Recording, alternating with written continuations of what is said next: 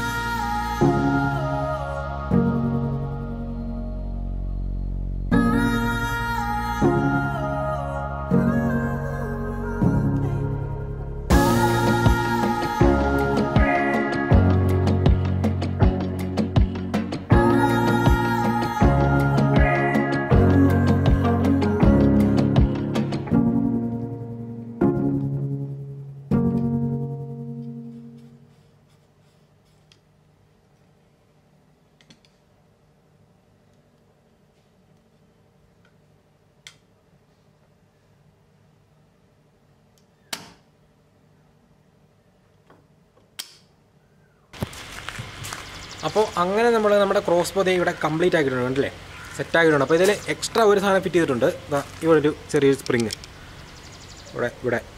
ആ ഇവിടെ. ഓക്കെ അപ്പോൾ ഇവിടെ ഒരു സ്പ്രിങ് സെറ്റ് ചെയ്തിട്ടുണ്ട്. ഈ സ്പ്രിങ്ങിന്റെ ഉദ്ദേശം എന്താണെന്ന് വെച്ചാൽ നമ്മൾ ഈ ഈ അമ്പ് എടുത്ത് വെക്കുമ്പോഴത്തേക്കും താഴെ പോകരുത്. ഇവിടെ തന്നെ ഇരിക്കണം. അതിന് വേണ്ടിയിട്ട് മാത്രമാണ്. ഇപ്പോൾ ഞാൻ ഈ അമ്പിന്റെ അറ്റം ഒന്നും കൂർപ്പിച്ചിട്ടില്ല. നമുക്കിപ്പോൾ രണ്ട് രീതിയിൽ ടെസ്റ്റ് ചെയ്യണം. ഒന്ന് കൂർപ്പിച്ചും ടെസ്റ്റ് ചെയ്യണം. ഒന്ന് കൂർപ്പിക്കാതെ ടെസ്റ്റ് ചെയ്യണം. ഓക്കെ അപ്പോൾ ഇനി ടെസ്റ്റിങ്ങിന്റെ പരിപാടിയാണ്. നമുക്കത് അങ്ങനെയാണ് ഇതിന്റെ പെർഫോമൻസ് നോക്കാം. ഓക്കെ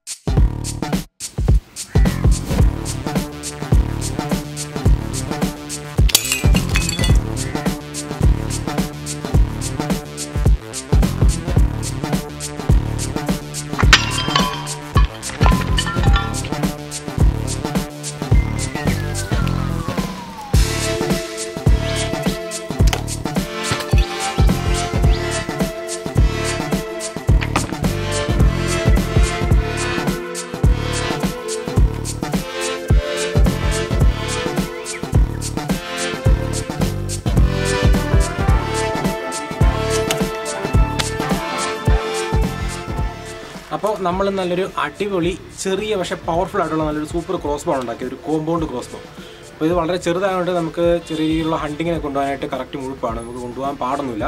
മീൻ പിടിക്കാൻ പോകാം തവളനെ പിടിക്കാൻ പോകാം അങ്ങനെയുള്ള കാര്യങ്ങൾ കൊണ്ടുപോകാനായിട്ട് നല്ല അടിപൊളി ക്രോസ് ആണ്. അപ്പോൾ നമ്മുടെ മിനി കോമ്പൗണ്ട് ക്രോസ് ബോ എല്ലാവർക്കും ഇഷ്ടപ്പെട്ടില്ലേ? ഇഷ്ടപ്പെട്ടെങ്കിൽ തീർച്ചയായിട്ടും വീഡിയോ ലൈക്ക് ചെയ്യുക അതുപോലെ തന്നെ സബ്സ്ക്രൈബ് ചെയ്യാനും മറക്കരുത്. ഓക്കെ അപ്പോൾ ഇനി നമുക്ക് അടുത്ത വീഡിയോയിൽ വേറൊരു അടിപൊളി ആയിട്ട് വീണ്ടും കാണാം. അതുവരെ ബൈ ബൈ